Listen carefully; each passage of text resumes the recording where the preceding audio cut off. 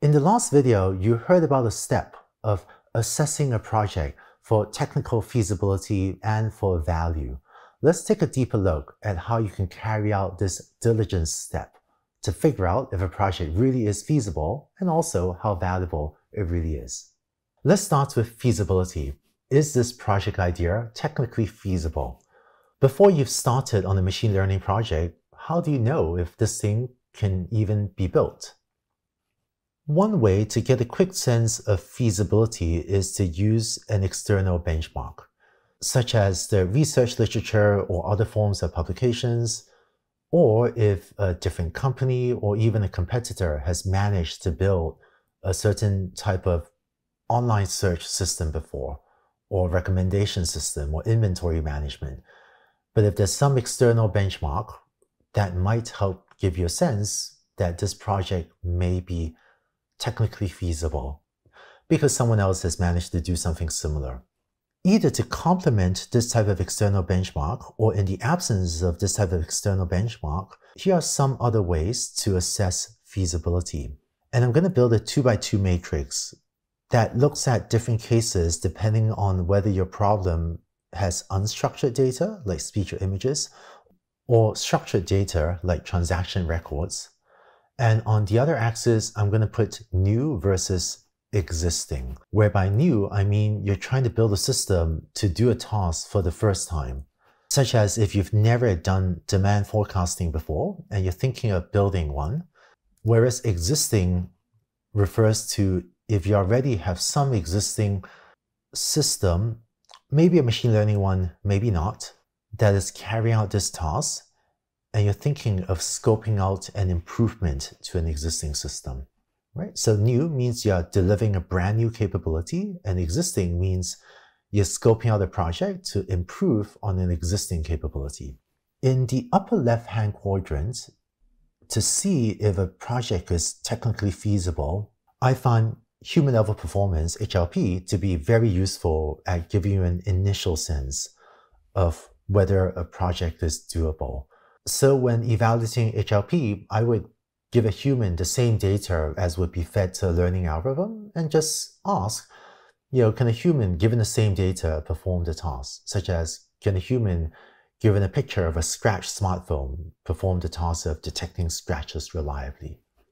And if a human can do it, then that significantly increases the hope that you can also get a learning algorithm to do it. For existing projects, I would use HLP as a reference as well, where if you have a visual defect inspection system and you're hoping to improve it to a certain level of performance, if humans can achieve the level you're hoping to get it to, then that might give you more hope that it is technically feasible. Whereas if you're hoping to increase performance well beyond human level performance, then that suggests the project might be harder or may not be possible. In addition to HLP, I often also use the history of the project as a predictor for future progress. And we'll say more about both HLP and history of project in the next few slides. But the previous rate of progress on a project can be a reasonable predictor for the future rate of progress on a project. You'll see more of this later in this video.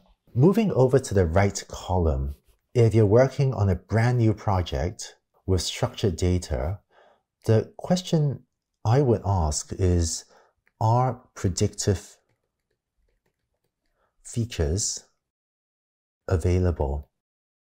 Do you have reason to think that the data you have, the inputs X, are strongly predictive or sufficiently predictive of the target output Y? in this box on the lower right, for a structured data problem, if you're trying to improve an existing system, one thing that will help a lot is if you can identify new predictive features. So are there features that you aren't yet using, but that you can identify that could really help predict Y? And also by looking at the history of the project. So on this slide, you heard about three concepts. Human level performance. the question of whether predictive features are available, and also the history of a project. Let's take a deeper look at these three concepts. And let's start with using HLP on unstructured data images. So I use HLP to benchmark what might be doable for unstructured data because people are very good on unstructured data tasks.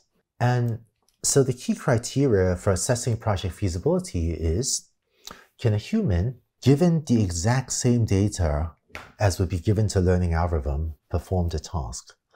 Let's look at an example. Let's say you're building a self-driving car and you want an algorithm to classify whether a traffic light is currently red, yellow, or green. I would I would take pictures from your self-driving car and ask a person to look at an image like this and see if a person looking only at the image can tell which lamp is illuminated. And in this example, it's pretty clear it's green. But if you find that you also have pictures like this, then, well, I can't tell which lamp is illuminated in this example. And this is why it's important for this HLP benchmark to make sure the human is given only the same data as your learning algorithm it turns out maybe a human sitting in the car and seeing the traffic light with their own eye could have told you which lamp was illuminated in this example on the right. But that's because the human eye has superior contrast to most digital cameras. But the useful test is not whether the human eye can recognize which light, which lamp is illuminated. The useful test is if the person was sitting back in the office and they can only see the image from the camera, can they still do the task? And that gives you a better read on feasibility. And specifically, it helps you make a better guess at whether a learning algorithm, which will only have access to this image, can also accurately detect which lamp in the traffic light is illuminated. Making sure that a human sees only the same data as the learning algorithm will see is really important. I've seen a lot of projects where for a long time, a team was working on a computer vision system, say, and they thought they could do it because a human physically inspecting the cell phone or something could detect the defect. But it took a long time to realize that even a human looking only at the image couldn't figure out what was going on. Then you can figure out much earlier that with the current camera setup, it just wasn't feasible.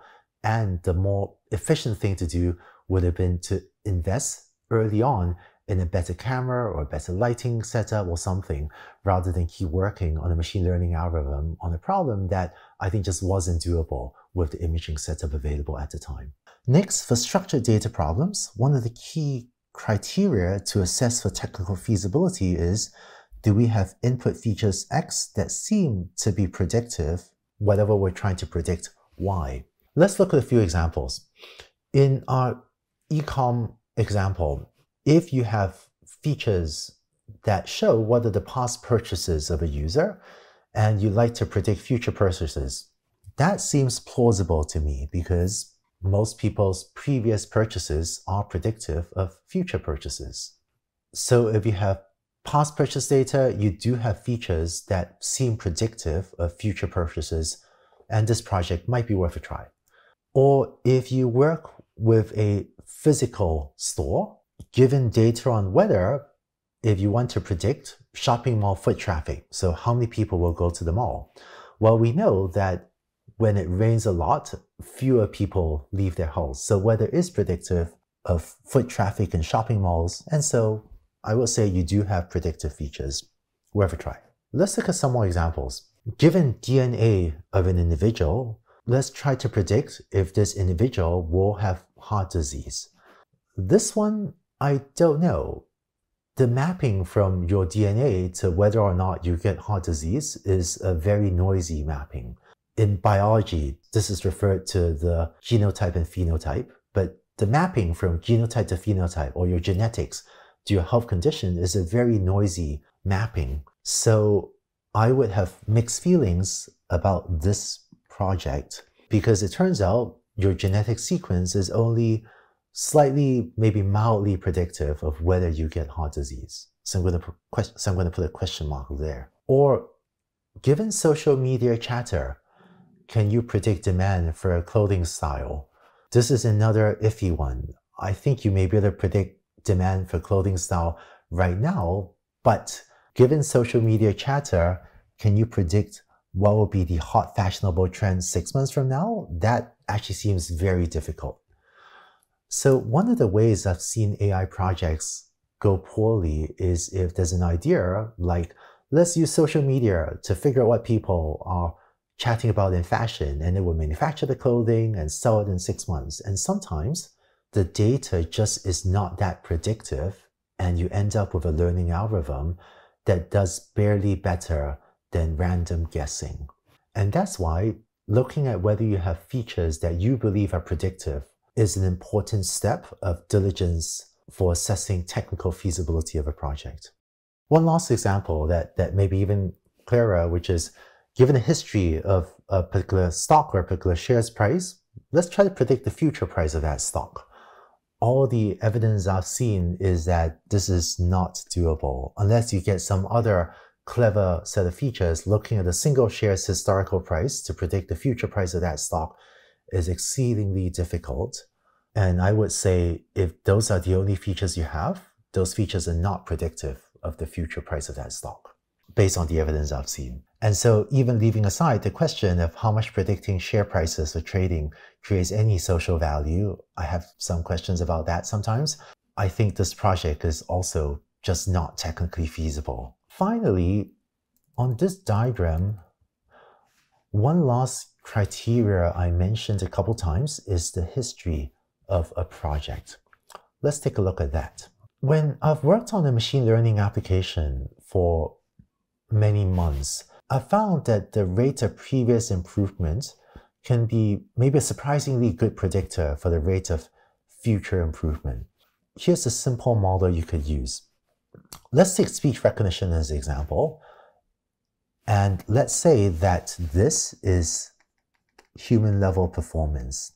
And I'm going to use human level performance as our estimate for Bayes error or the irreducible level of error that we hope to get to. Let's say that when you started the project, you know, say in the first quarter or Q1 of some year, the system had 10% error rate. And over time, in subsequent quarters, the error, you know, went down like so. So Q2, Q3, Q4, and so on. It turns out that it's not a terrible model to estimate this curve. So if you want to estimate how well the team could do in the future, one simple model I've used is to estimate the rate of progress as for every fixed period of time, say every quarter, the team will reduce the error rate by some percentage relative to human level performance. So in this case, it looks like this gap between the current level of performance and human level performance is shrinking by maybe 30% every quarter, which is why you get this curve that is exponentially decaying toward HLP. And by estimating this rate of progress, you may project into the future that hopefully in future quarters, you continue to reduce the error by 30% relative to HLP. And this will give you a sense of what might be reasonable for the future rate of progress on this project. And thus, this gives you a sense of what may be feasible for an existing project for which you already have this type of history and can try to extrapolate into the future. In this video, you saw how to use human level performance, the question of whether you have predictive features, and the history of a project in order to assess technical feasibility. Next, let's dive more deeply into assessing the value of a project. We'll do that in the next video.